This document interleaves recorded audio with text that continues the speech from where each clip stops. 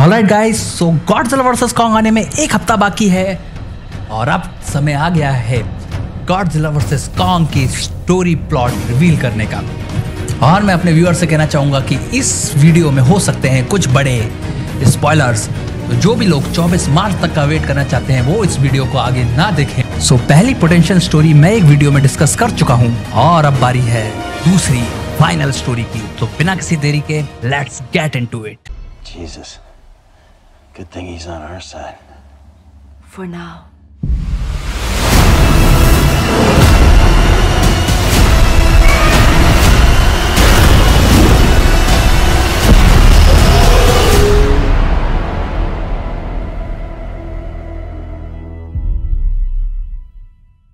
Film शुरू होती है शॉर्ट क्रेडिट सीक्वेंस के जो गॉडजिला 14 और कॉन्ग स्कल आइलैंड के हैं और इन क्लिप्स में दिखाया जाएगा कि कैसे गॉडजिला और कॉन्ग ने बाकी टाइटन्स को डिफीट किया और वो लास्ट टू स्टैंडिंग बचे।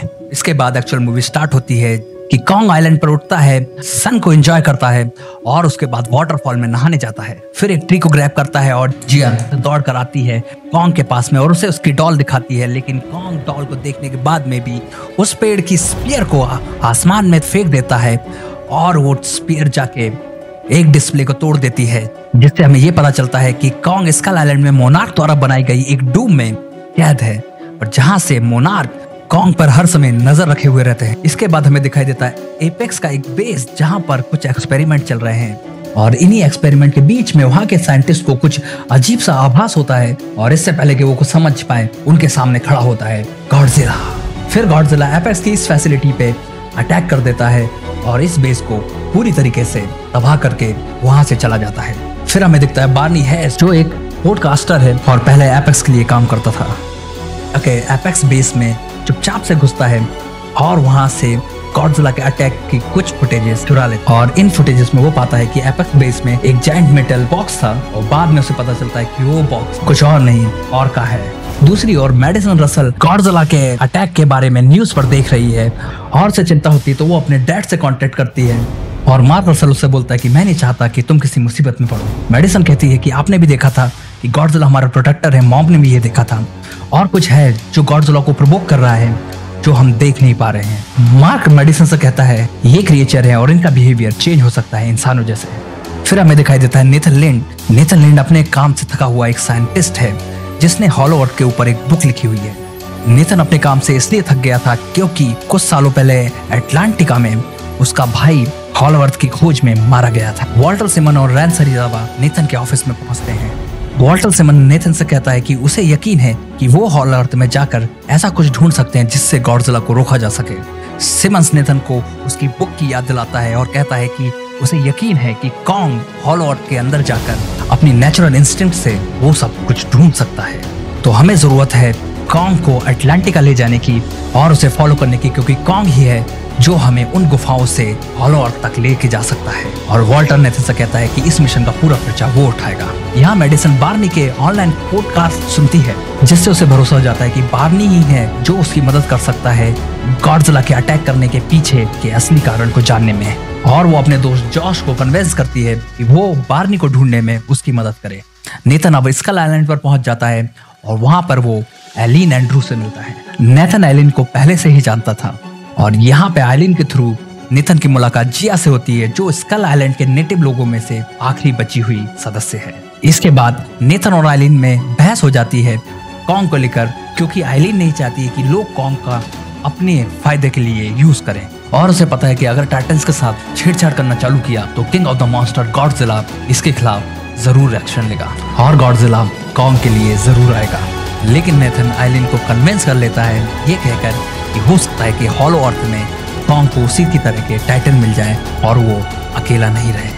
मेडिसन और जॉर्ज बार्नी को ढूंढ लेते हैं। पहले तो बार्नी इन लोगों पर शक करता है, लेकिन बाद में इन पर भरोसा करने लगता है। मेडिसन बार्नी को बोलती है कि कुछ तो है जो गॉडजिला को परेशान कर रहा है, जिसके कारण गॉडजिला ऐसा बिहेव कर रहा है और बार्नी भी उसकी बात को एग्री करता है। जॉश बार्नी को पूछता है कि तुमने अपने पास में गन क्यों रखी है? क्योंकि वो उसके चेस्ट पर गन रखने का हॉलस्टर बंधा हुआ देखता है। बार्नी हॉलस्टर में से गन की जगह बॉटल निकालता है और कहता है कि जिस दिन से उसकी वाइफ इस दुनिया से उसे छोड़कर चली गई, उस दिन से ये बॉटल उसके पास में है और उसने इस बॉटल को अभी तक पीकर खत्म नहीं किया। और बार्नी कहता है कि मैं ऐसे उस दिन पीकर खत्म करूँगा, जिस दिन मैं सच्चाई का पता लगाकर इन सब चीज़ों को खत्म कर दूँगा। दूसरी ओर मोनार के लोग स्कल आइलैंड में कॉन्ग को ले जाने की तैयारी कर रहे होते हैं। इसके लिए कॉन्ग को जिस चैम्बर में इन लोगों ने बंद करके रखा है, उस चैम्बर में बेहोशी की गैस छोड़ देते हैं, जिससे कॉन्ग बेहोश हो जाता है। और कॉन्ग को जैसे तैसे करके ये लोग एयरक्राफ्ट कैरियर में लाकर चेनों से बाँध देते हैं और कॉन्ग को लेकर वहाँ से निकल जाते हैं। माया सिमंस जो वाटर सिमंस की बेटी है वो नेथन के पास में आती है और कहती है कि वो अपने फादर के हर एक मिशन की देखभाल करती है और वो इस तरीके से उन लोगों को ज्वाइन कर लेती है। बाद में जब कॉन्ग को होश आता है तो अपने आप को बंधा हुआ पाकर कॉन्ग बहुत ज़्यादा परेशान हो जाता है और चिल्लाने लगता है ये देखकर जिया कॉन्ग के पास में जाती है और कॉन्ग को ऐसी हालत में देखकर खुद भी बहुत परेशान होने लगती है। लेकिन कॉन्ग को देख के वो स्माइल करती है। ये स्माइल देखकर कॉन्ग थोड़ा शांत हो जाता है और कॉन्ग की तरफ़ अपनी उंगली बढ़ाती है। कॉन्ग भी सेम तरीके से जिया को रिप्लाई करने की कोशिश करता है। आइलिन पीछे से ये सब देख रही होती है और उसे भी पता चल जाता है कि कॉन्ग और जिया का बॉन्ड बहुत ज़्यादा ही गहरा है। कॉन्ग जिया की बहुत केयर करता है। और कॉन्ग ने प्रॉमिस किया है कि वो जिया की हमेशा देखभाल करेगा और हमेशा उसे दूसरे खतरों से प्रोटेक्ट करेगा।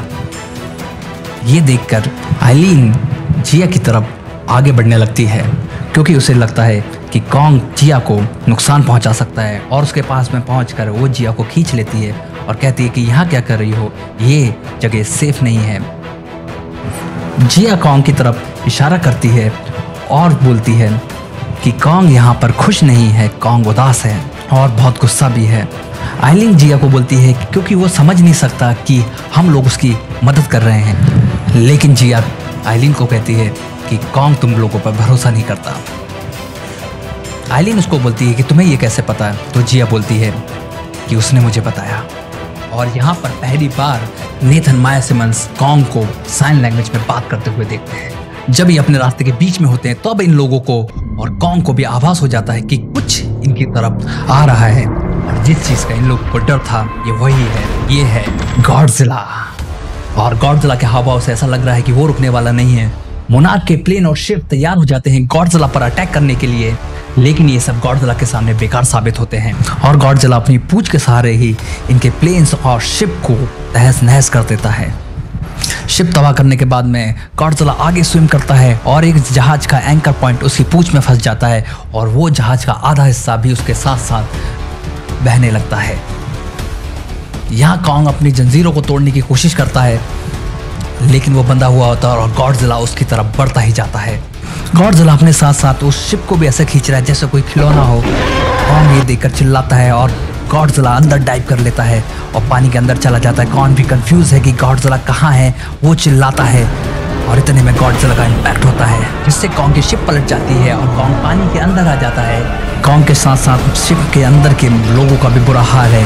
कॉन्ग स्ट्रगल कर रहा है पानी के अंदर कि कैसे वो बाहर निकले और गॉडजिला पानी के अंदर से ही कॉन्ग के ऊपर हमला करने के लिए बिल्कुल तैयार है। जैसे तैसे करके कॉन्ग वापस शिप पे अपनी वापसी करता है और अपनी चेन्स को तोड़ने की कोशिश करना चालू कर देता है। मोना के प्लेन्स लगातार गॉडजिला पे हमला करते रहते हैं, जिससे कॉन्ग को थोड़ा समय मिल जाता है अपने आप को चेन से आज़ाद करने का। और गॉडजिला और कॉन्ग की भीषण लड़ाई चालू हो जाती है। गॉडजिला भी एयरक्राफ्ट कैरियर के ऊपर चढ़ जाता है और वहाँ चढ़कर कॉन्ग के सामने खड़ा हो जाता है।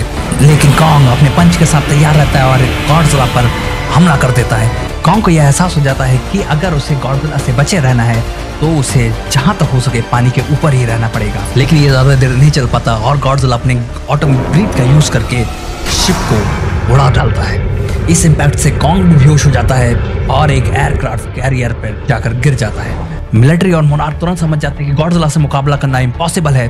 तब वो अपने सारे वेपन्स और शिप को ऑफ़ कर देते हैं, जिससे गॉडजिला को लगे कि सब कुछ खत्म हो चुका है और उनका ये प्लान काम कर जाता है और गॉडजिला वहाँ से चला जाता है। लेकिन इन लोगों को ये रियलाइज़ हो जाता है कि गॉडजिला वापस आएगा अगर गॉडजिला के द्वारा दी गई इस चेतावनी को कॉन्ग ने और इन लोगों ने नहीं माना तो। ये सब ध्यान में रखकर नेथन और आइलिन एटलांटिका जाने का प्लान चेंज कर देते हैं और पानी के रास्ते से ना जाने का डिसाइड करते हैं। बार्नी मेडिसन और जॉर्ज को फ्लोरिडा के एपेक्स बेस पर लेकर जाता है। और बताता है कि उसने एक बड़ा मेटल का बॉक्स देखा था। लेकिन जब तक ये लोग वहाँ पहुँचते हैं, वहाँ पर इन्हें कुछ नहीं मिलता। नेथन आइलिन और इनकी टीम कॉन्ग को एटलांटिका हेलीकॉप्टर में नेट से कैरी करके लेकर जाते हैं। एटलांटिका पहुँच के कॉन्ग को जिया के थ्रू कन्वेंस किया जाता है कि वो उन गुफाओं में जाए। ये गुफाएँ ऑल अर्थ का रास्ता है।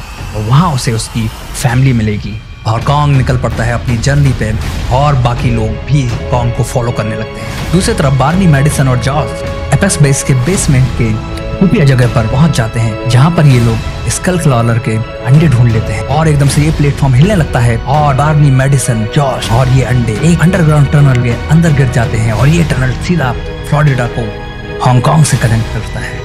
कॉन्ग सभी को लीड करते हुए हॉलोअर तक पहुँच जाता है। यहाँ का एटमॉस्फेयर काफ़ी हद तक स्कल आइलैंड जैसा है। सडनली इन लोगों के शिप पर वॉर बैट्स का अटैक होता है। और कॉन्ग वॉर बैट से फाइट करके, उन्हें डिफीट करके सभी को बचाता है। इसके बाद में कॉन्ग अपने हॉलोअर की जर्नी कंटिन्यू कर देता है। फिर कॉन्ग एक बड़ी गुफा में पहुँचता है, जहाँ पर उसे एक हैंड प्रिंट दिखता है, जो उसी के हाथ जैसा होता है।